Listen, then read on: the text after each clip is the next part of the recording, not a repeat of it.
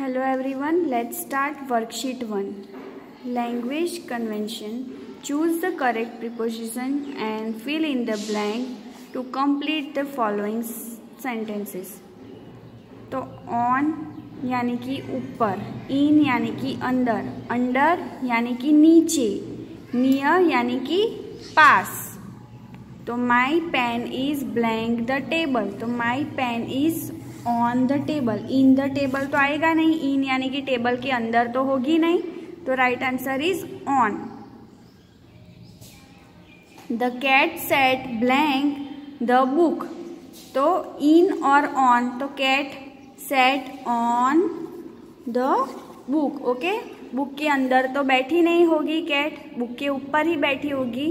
तो ऑन आएगा यहाँ answer my school is blank the post office तो अंडर यानी कि नीचे और नियर यानी कि पास तो right answer will be near the juice is blank the cup in या ऑन तो कप के अंदर होगा तो इन कप के ऊपर तो होगा नहीं जूस कप के अंदर ही होगा ना तो in the bed is blank the television okay under या नियर तो near near the television. Critical thinking. Furry Fox knows Carrie Crane has taught him a lesson. What lesson did Carrie Crane teach Furry Fox? Okay furry fox जानता था कि carry crane थी उसने उसे अच्छा सबक सिखाया था तो कैरी क्रेन ने क्या सबक सिखाया था तो A Carrie Crane thought the fox to be mean cunning and nasty to guess okay Carrie Crane ने ये सिखाया था कि मीन बनना, मीन बातें बोलना, क्रूर बनना, चतुर बनना, ये सब सिखाया था। Carrie Crane thought the fox be kind and generous to guest okay ये सिखाया था कि गेस्ट के प्रति आपको दयालु बनना है, अच्छे से बिहेव करना है, ये सिखाया था। या फिर C Carrie Crane taught the fox to cook tasty dishes for guest तो इसमें से क्या सिखाया था? तो Carrie Crane taught the fox to be kind and generous to guest okay अच्छा बिहेव करना काइंड बनना, ये सिखाया था। क्योंकि फॉरी फॉक्स वॉज़ कनिंग तो कैरी क्रेन ने उसे काइंड बनना सिखाया था। In the lesson four friends and the hunter the mouse deer and crow share their meals together if a friend और someone else does not have food to eat will you share your meal okay तो यहाँ पे दूसरे जो lesson है हमारा fourth number का तो उसमें चारों फ्रेंड्स और फोर फ्रेंड्स एंड हंटर तो उसमें जो फ्रेंड्स थे माउस डियर और क्रो तो वो अपना खाना एक दूसरे के साथ शेयर करके खाते थे।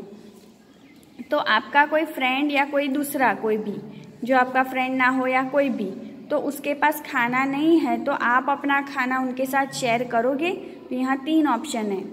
A no I want to eat all the food by myself because the food is tasty and delicious तो पहला ऑप्शन ये कहता है कि नहीं करूँगा या नहीं करूँगी, क्योंकि जो फ़ूड है वो मैं पूरा खा जाऊँगा या खा जाऊँगी, क्योंकि फ़ूड है वो टेस्टी और डिलीशियस है। Second I have very little food to it so I can not share it with anyone else मेरे पास ही खाने के लिए बहुत कम खाना है तो मैं शेयर नहीं करूँगा या नहीं करूँगी? एंड सी है yes I will share my food because we should be kind and generous to others तो right option will be C कि हाँ हमें खाना शेयर करना चाहिए दूसरों को, हमें दूसरों के प्रति दया दिखानी चाहिए अच्छा बिहेव करना चाहिए तो हमें अपना खाना शेयर करके खाना चाहिए। Next is decision making your friend falls down while walking and his bags bag and books are scattered on the road In the meanwhile, the school bus is waiting for you and your friend. What would be your decision in such a situation? तो आपका friend है वो चलते वक्त ही गिर गया उसकी books और जो बैग थी वो भी बिखर गई रोड पे ओके और स्कूल बस है वो आपका और आपके फ्रेंड का वेट कर रही है तो आप इन तीनों में से कौन सा डिसीज़न लेंगे? फ़र्स्ट है scold him for falling down and walk toward the towards the school bus okay आप उसे डांटोगे। स्कोल्ड हिम यानी कि डांटना। तो आप उसे डांटोगे क्योंकि क्यों वो गिर गया और फिर फटाफट चल के बस की तरफ़ जाओगे। Next ignore him because the school bus might leave and you need to go home okay आप उसे इग्नोर कर दे, दोगे, वो गिर गया है तो क्योंकि स्कूल बस चली जाएगी तो आपको खुद से ही घर जाना पड़ेगा। And third one help him to get up and collect his bag and books request the school driver to wait for you and your friend and seek help from an adult in case your friend is injured okay तो ये right right है। उसकी help करोगे पहले तो उसे उठाने में, उसकी बैग और बुक्स को कलेक्ट करोगे। और फिर जो बस का ड्राइवर है, उसे रिक्वेस्ट करोगे आप कि आप अपने फ्रेंड के लिए और उनके लिए बस खड़ी रखें ओके या फिर कोई एडल्ट है, कोई बड़ा है, उसके, उससे आप हेल्प मांगोगे।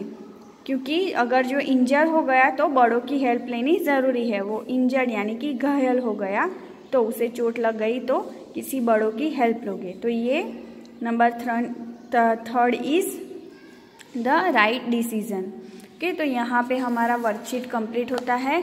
आपको नोटबुक में लिखने की ज़रूरत नहीं है टेक्स्ट बुक में ही आपको लिखना है। ये पूरा। Thank you have a nice day